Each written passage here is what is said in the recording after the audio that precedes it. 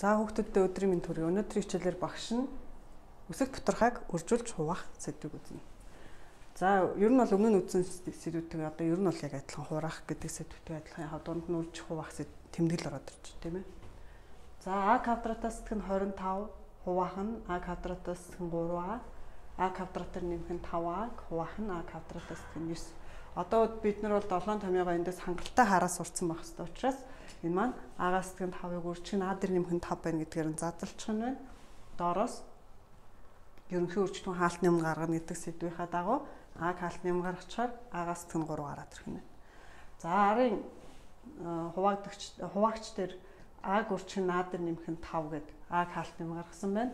Доороос нь А квадратаас хастдаг нь 9 буюу А-гаас тэгэн 3-ыг үржих нь А дээр нэмэх нь 3 гэдгийг хаалтны өмнө гаргасан байна. За тэгэхээр бид нэр урдлынхаа хэсгийг бичээд за хувааж байгаа нөхцөлд ер нь бол энгийн бутархай тог хувааж байгаа нөхцөлд арын тооны байрыг сольж үржидгээ гэдэг том юм юу ойлголт маань яг энэ дээр адилхан хэрэгжээ явна. Тэр үржигдэхүүн болгож бичээд багш нь тэрнийхээ байрыг солиод хуваарт нь ааг үржих нь а дээр нэмэх нь 5-ыг оруулсан. Хүртүрт нь агаас тэн 3-ыг үржих нь а дээр нэмэх нь 3-ыг оруулсан байна.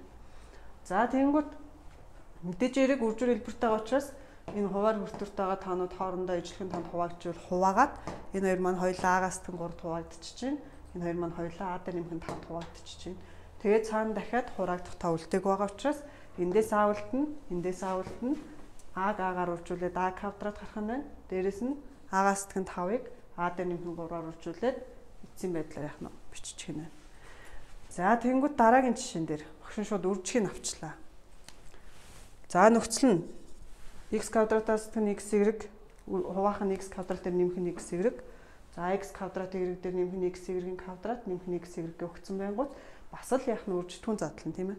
Үржигдэхүүн задлахын тулд эхнийхээс x-ийг хаалт нэм гаргаад хуваараас нь бас x-ийг хаалт нэм гаргачихаар x-ийг x-ээс састдаг нь y доод хуваарт нь x-ийг үржих x-дээр нэмэх нь y за дээр арын үржигдэхүүнээс үржигчээс нь x-ийг x y-ийг хаалт нэм гаргаад x-дээр нэмэх нь y хуваараас нь x-ийг хаалтны юм гаргаад биш хуваар нь тэр чигээр x x y байгаа учраас биччихээр одоо эндээс бид нэр төсөөтэй гişүүдээ хураахлаар энэний хүртүр хуваарт x тэр нэмэх нэг байгаа учраас хоёулыг x тэр нэмэх нэгт хураагаад нэг нэг гарна. За x y-гүүд хоорондоо бас хураагдана. Уртлаас x-үүд хоорондоо хураагдчихаар яах нь x-с тэр нэгээс бусад бүх гişүүд хураагдчих байгаа учраас x-с нэрийг манд ангаар авилдаад эцсийн хариу байдлаар яах тэр нэрийг нь үлдэх юм биш.